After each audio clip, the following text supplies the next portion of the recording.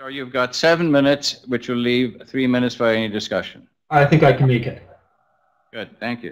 Today you will have heard from many with concerns about the negative biological effects from subthermal levels of radiation. Today I wish to mention the radiation aspects either missing from the code or handled so poorly it would be an improvement to the code if they were missing. Unfortunately, I have experience with microwave radiation that few have. Exposure to microwave radiation is not a theoretical discussion in the lab for me. It is a personal recollection for me. 40 years ago, I was exposed to a large dose of microwave radiation, enough to cause the left of my face to heat. Instantly. Suddenly, I or er, subsequently, I developed an acoustic neuroma on the left side. Since the tumor, my life has been drastically altered for the worse. I would very much like to keep the membership to my club limited to the current members only. During my attempts to explain to WorkSafe BC, I realized there were several important factors about radiation that were not covered in the code, or if they were, they were not covered adequately. Specifically, the effect of near and intermediate field radiation are not covered. Cumulative effects of many point sources is not covered. Modulation in terms of data is not considered, and pulse signal effects are, are limited. Near field radiation the spectacular peaks of intensity in near field zone explained why the heating, I felt the heating sensation instantly. Typically, far field is around, is assumed to start at twice the diameter or larger size of the antenna squared divided by the wavelength. Frequently, far field radiation is, is assumed to be two meters for cell phones. Both Health Canada and Industry Canada in various publications address the reasons for additional cautions related to the exposure to near and intermediate fields.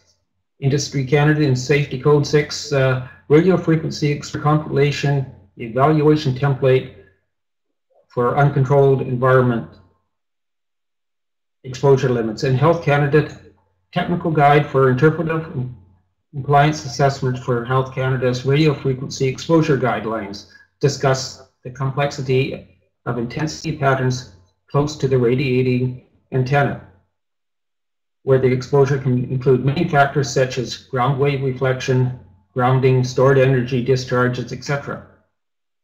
Health Canada says near field, rate, near field zone does not have a substantially plane wave character but very but varies considerably from point to point. And far field, they mentioned, uh, does have consistent characters. Now, Safety Code 6 seems to be aimed more at the far field and doesn't discuss anything within the, the near field zone.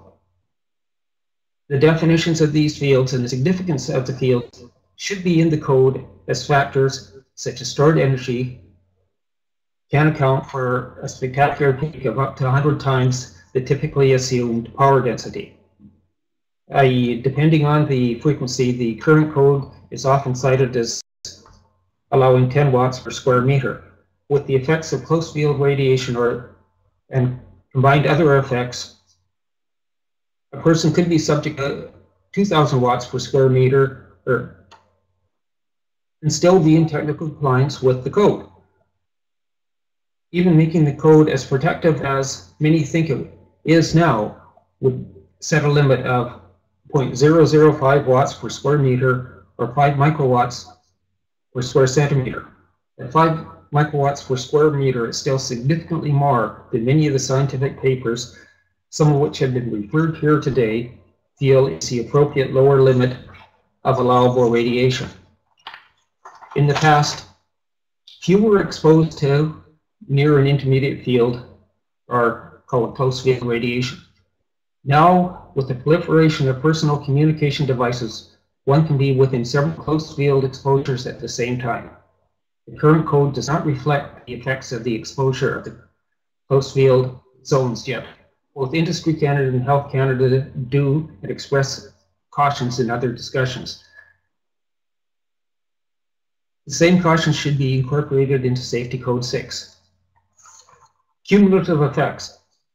Very little consideration in any Health Canada document is given to the cumulative effects of being surrounded by many point sources of radiation. Traveling in a crowded mobile Faraday cage, also referred to as a bus or other public transportation, can be sheer hell for people that experience headaches caused by electromagnetic radiation. Industry Canada states, in the near field or in a complex radio environment where several antenna towers are installed in the vicinity of a location of interest. A detailed analysis technique may be needed using sound engineering practices that take into consideration the contribution of each antenna present. That certainly isn't done in the code. The code, current code does not even acknowledge the effect of the number of adjacent wireless devices and the cumulative on a human as a concern. Modulation. The effects of data carrying or modulation are not mentioned.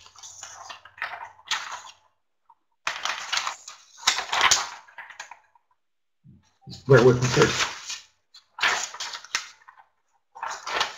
here. I did have it. Papers such as Dr. Carl Blackman's paper, Cell Phone Radiation Evidence for ELF and RF Studies Supporting that more inclusive risk and identification and assessment discuss the effects of some forms of modulation. Among other observations of Dr. Blackman was the combination of frequency and modulation can have different effects on a subject varying with the physiological state of the subject. There are many different forms of modulation and countless combinations of modulation. And frequency, or as Dr. Blackman refers to them, frequency windows. Only radiation limits based on precautionary principles can offer an assurance of protection from exposure to harmful frequency windows. Pulse radiation. Strictly speaking, pulse is a form of modulation. The current code averages out the intensity of pulse radiation.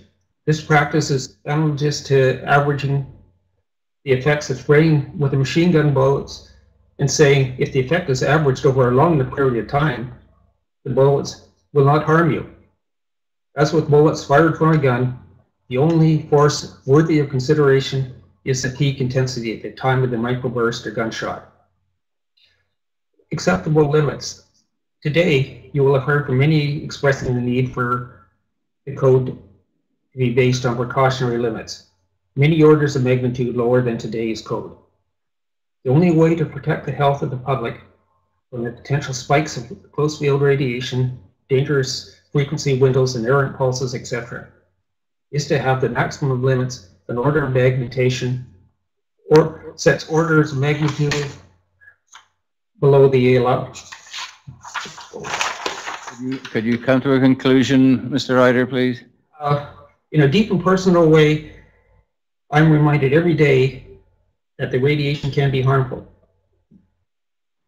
How many more peer review papers showing biological harm at subthermal levels are required before it is recognized as a universal truth that subthermal levels of radiation can cause biological harm?